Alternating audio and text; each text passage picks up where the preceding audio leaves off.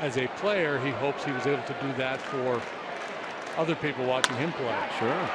Little play chance and drop. Wow, the Diamondbacks have not played a very solid game. That should have been an easy 6-4-3.